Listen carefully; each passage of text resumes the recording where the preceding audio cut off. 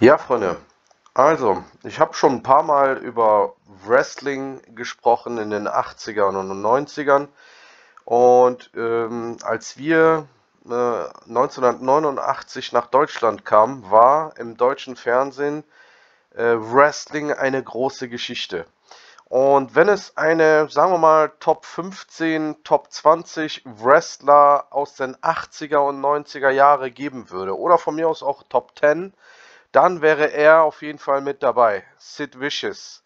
Äh, sein echter Name ist Sid Eudi, also ich weiß nicht, wie man das auf amerikanisch ausspricht. E-U-D-Y ist sein Familienname. Sid S-I-D. Ähm, er war eine Ersche äh, Erscheinung, ja. Ähm, 2,6 Meter sechs und knappe 150 Kilogramm. Ne? Und er ist leider vor kurzem von uns gegangen. Ähm, sein Markenzeichen war halt seine Erscheinung ne? im Wrestling in den 80ern und 90ern. Ähm, er war mit Größen wie Undertaker oder ähm, The Ultimate Warrior im Ring oder Hulk, Hulk, Hogan und hatte legendäre Matches mit denen. Ähm, körperlich, sein Markenzeichen waren hier diese extremen Stiernacken, wie man hier sehen kann, und seine extrem breiten Schultern ja, brusttechnisch und armetechnisch war er auch sehr gut dabei. Man muss sich das mal vorstellen, 2,6 Meter, sechs, knappe 150 Kilogramm. Und was auch sein Markenzeichen war, ist so dieses komplett eckige, kantige äh, ja, Gesicht, was halt diese Männlichkeit darstellt, so gesehen. Ne?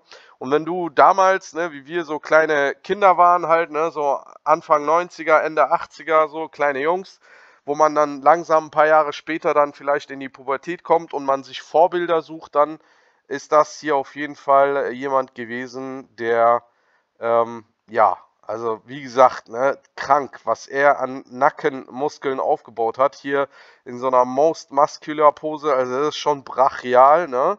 Es gibt wenige Leute, die äh, so Schulter, Brust und vor allen Dingen Nackenpartie haben. Ich würde da eher sagen, so, dass es ein paar sehr wenige gibt, die da mit ihm mithalten konnten. Vielleicht ähm, hier, wie heißt er denn? Äh, Goldberg. Bill Goldberg hatte vielleicht noch ungefähr diese Physik, aber der Typ war wirklich eine Erscheinung. Hier, wie gesagt, 2,6 Meter, ne, 145, 150 Kilogramm äh, Gewicht. Ja, auf jeden Fall an der Stelle, ja, was soll man sagen, ein Tribut sozusagen hier mit Ultimate Warrior, wie man sehen kann, äh, im Ring gewesen. Ne? Und Ultimate Warrior selber auch so eine Kante, aber ne, er war wirklich eine Erscheinung. Also wenn der neben Leuten stand, da sahen die alle winzig äh, dagegen aus. Ne? So ein Masse, Masse-Monster halt. Ne? Hier zum Beispiel, der Undertaker ist ja mein absoluter Lieblingswrestler aus den 80er und 90er. Ne? Und der ist äh, der einzige oder einer der wenigen, die neben ihm noch so ein bisschen mithalten konnten mit der Körpergröße und mit der Masse. Ne? Ansonsten äh, war das wirklich eine Maschine. Aber wie das nun so ist, ne?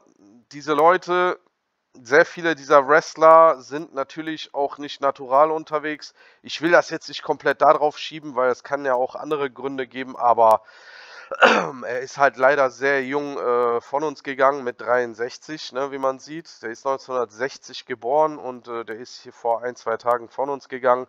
Auf jeden Fall an der Stelle, äh, ja,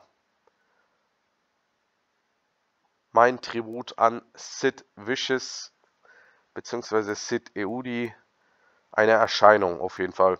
Vom Körper her, wie gesagt, auch Vorbild für viele Leute, die dann später mit Wrestling oder Kraftsport oder irgendwie so in diese Richtung angefangen haben. An dieser Stelle würde ich mich freuen, wenn ihr das Video liked, ein paar Abonnent, äh, Abonnements da lasst und dann sehen wir uns im nächsten Video.